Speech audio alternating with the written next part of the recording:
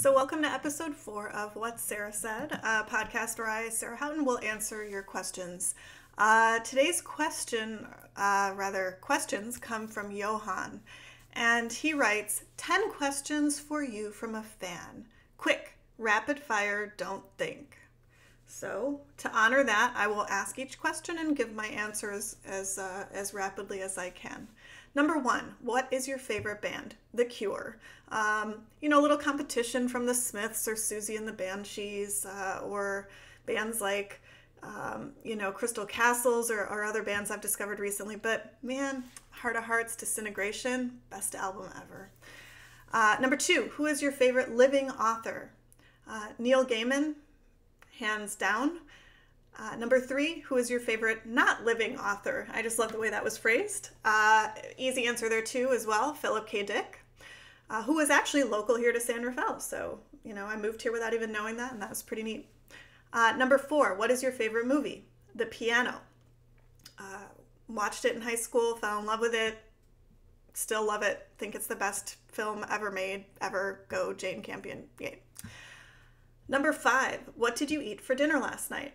I ate a homemade vegan pot pie. It was frozen. I had made a big batch about a month ago, but uh, it was homemade to begin with, so I, I think that still counts. Uh, and as I recall, uh, one and a half glasses of a very thick Merlot. All right, number six. What did you do for prom? Okay, I did not go to prom. So, what I did for not prom was that uh, I bought about $40 worth of dessert items. So this could be like ice cream and cookies and cake. And I remember there was a some kind of big container of chocolate mousse. I'm really not sure how that came to be. Um, and then I also bought about $40 in illicit alcohol and uh, locked myself down in my parents' basement and watched Clockwork Orange over and over and over again all night um, while drinking alcohol and eating mass quantities of sugar. So that was my prom. Uh, not something I wish to repeat. Uh, however, at the time it seemed like a good idea. Number seven, who is your biggest inspiration? Uh, my maternal grandmother, who passed away last year, uh, continues to be my biggest inspiration. Uh, she faced a lot of obstacles in life and a lot of difficulties in her private life, but always made sure that in her interactions with other people, either her family, her friends, people um, through organizations that she was a member of, that she was always making their lives better, happier, that she was helping them feel more empowered, stronger, uh, and making them feel special and making them feel loved. And uh, that's something that I aspire to do, but I, I can never do it as well as she did. Um, but but that selflessness and the kindness that she showed other people continues to be an inspiration to me. Uh, number eight, what is your favorite store?